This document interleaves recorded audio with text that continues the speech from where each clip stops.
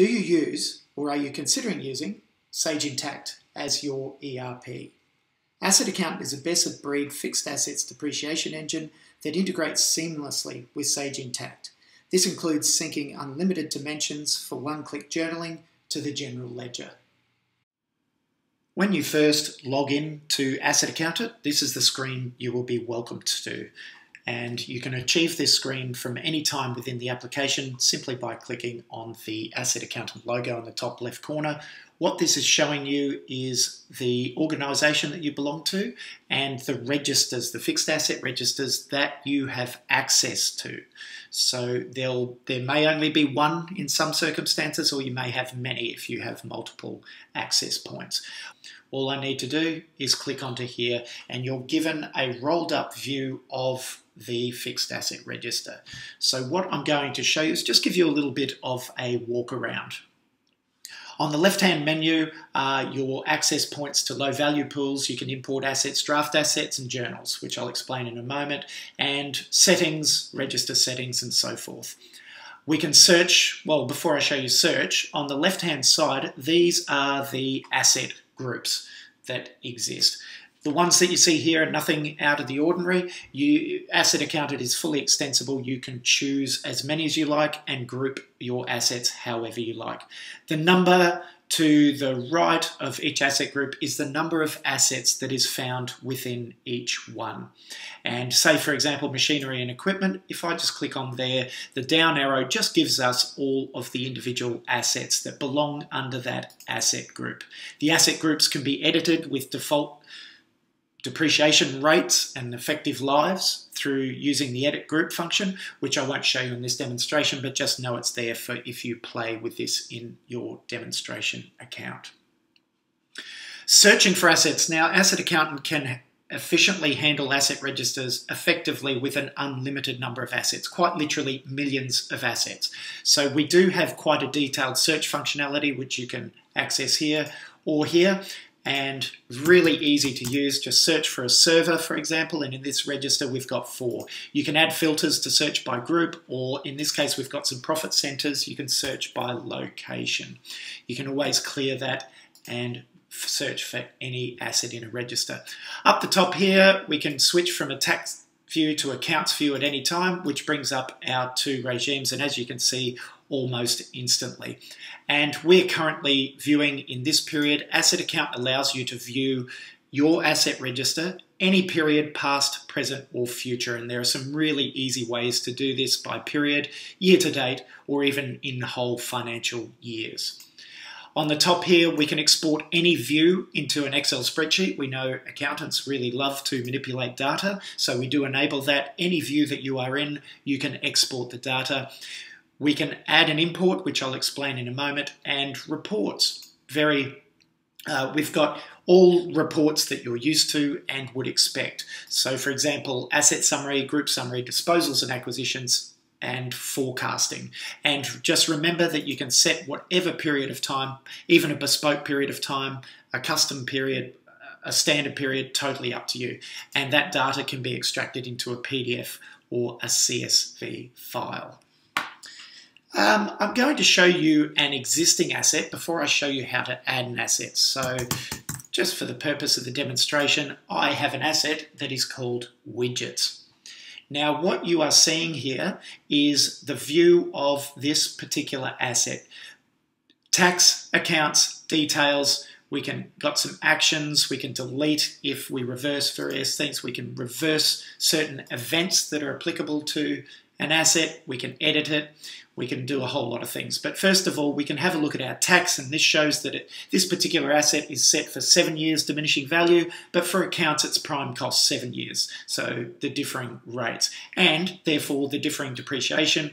What you're looking at down here is just all of the depreciation by period ever since the asset was first purchased on the 25th of July 2019. Again, you can export your data however you see fit.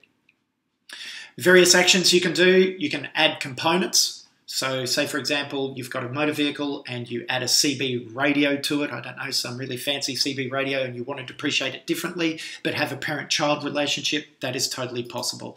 Or you might have $30,000 spent for 30,000 widgets. You can add an opening quantity, and then in the future, you can sell right off this asset in full or partially. So you might want to sell 5,000 of 30,000 widgets and show all of your depreciation numbers accordingly.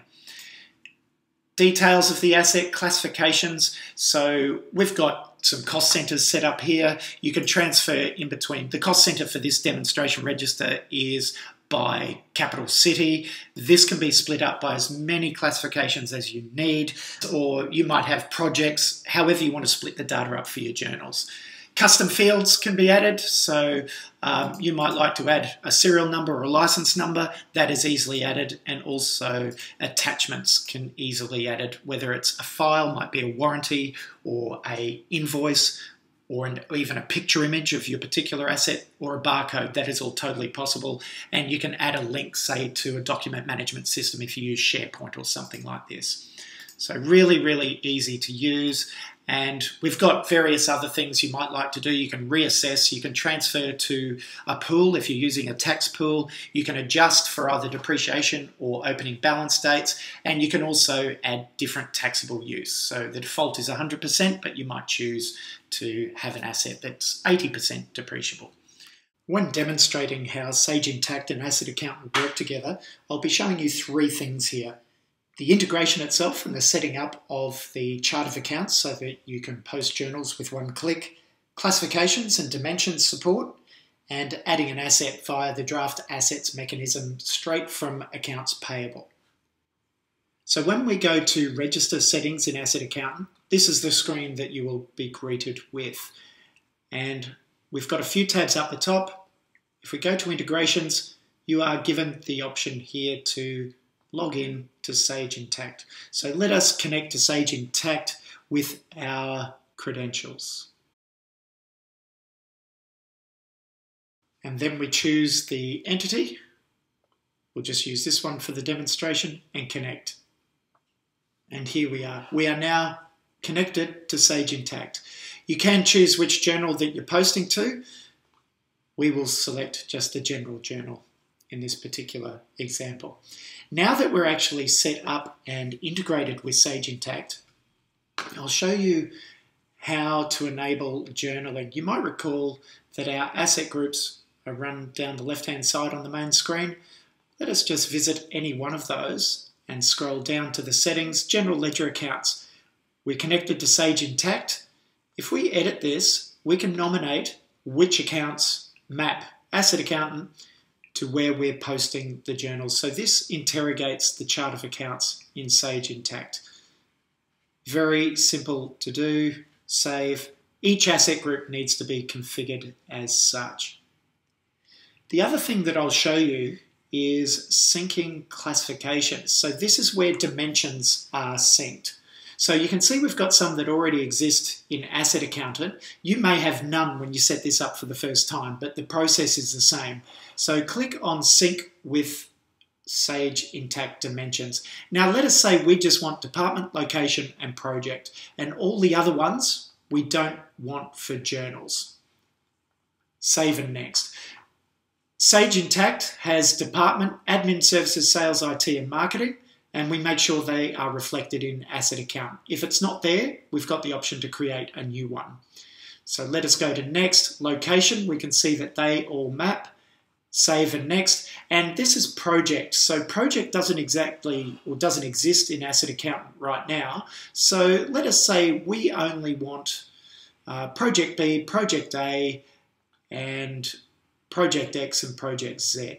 So let us go ahead and you'll see that Asset Accountant will then create that. And here we go here. So we've mapped department, location, and project is a new one. So these will be added. And it is as simply the process of clicking save and now you can see that these dimensions are now synced with Sage Intacct. The next item I want to show you is actually, there's three ways of adding assets in Asset Accountant. There's doing it directly through the interface by adding an asset. You can import using a CSV file that have all the information of every asset ready to import and be brought straight into the register. Or when you're integrated with Sage Intacct, we've got this wonderful function called Draft Assets. If you click on that, these are all of the assets that have been added into accounts payable that have not yet been added into Sage Intacct.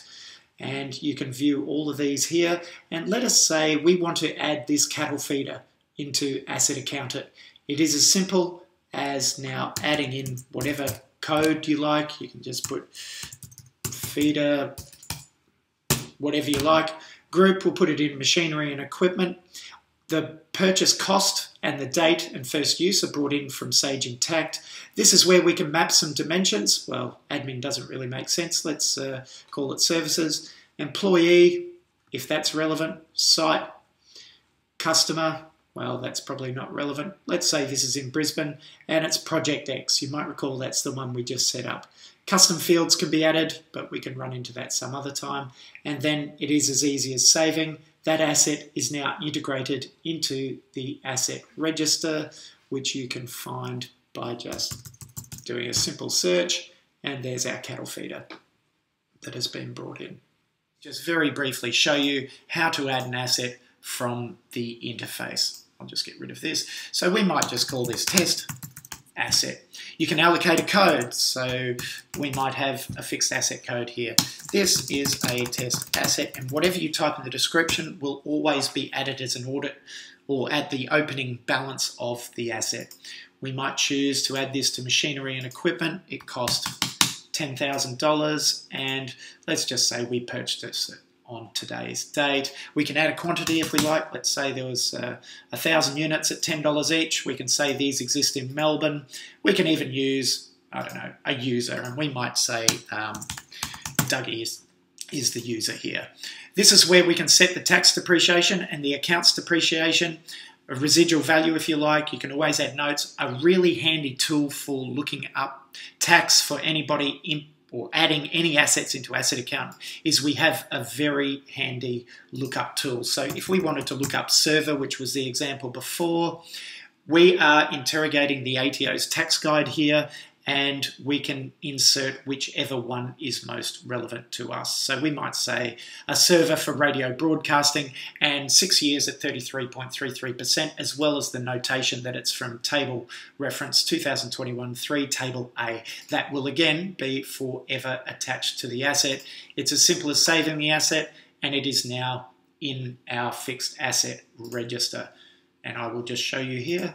We'll search for this asset, test, there we are, comes up in the details there.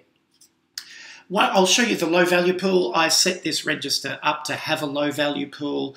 Just very briefly, we can see any transactions, opening assets, closing assets. We're in the financial year 2021 here, so we're showing which ones were transferred to the pool. Um, and also closing assets that exist in the pool at the end of financial year 2021. And asset account is also intuitive so that at the beginning of every financial year or whenever you like, we asset account will show you however many assets have met the criteria to be able to be transferred into the pool. And it is as simple as clicking transfer. This asset then, the fridge Westinghouse, is now in the low value pool. For tax, you can see here, transferred to the low value pool, but if I go into accounts, you'll see that it is still depreciating merrily and will exist in the reports for accounts purposes. The last thing we'll show you quickly is how to post journals to Sage Intacct.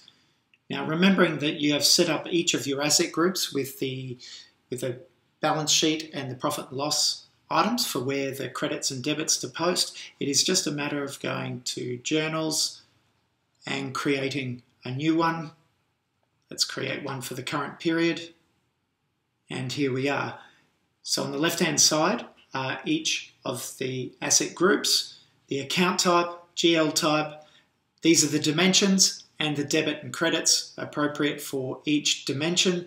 And it really is just a matter of clicking post to Sage Intacct there are all sorts of things you can post here, revaluations, impairments, adjusters, adjustments, leases, but for the demo, let's just do depreciation post, and we should get a green tick to let us know that that has been posted. And that is now done. There's nothing more to do for this period in Asset Accountant or Sage Intacct.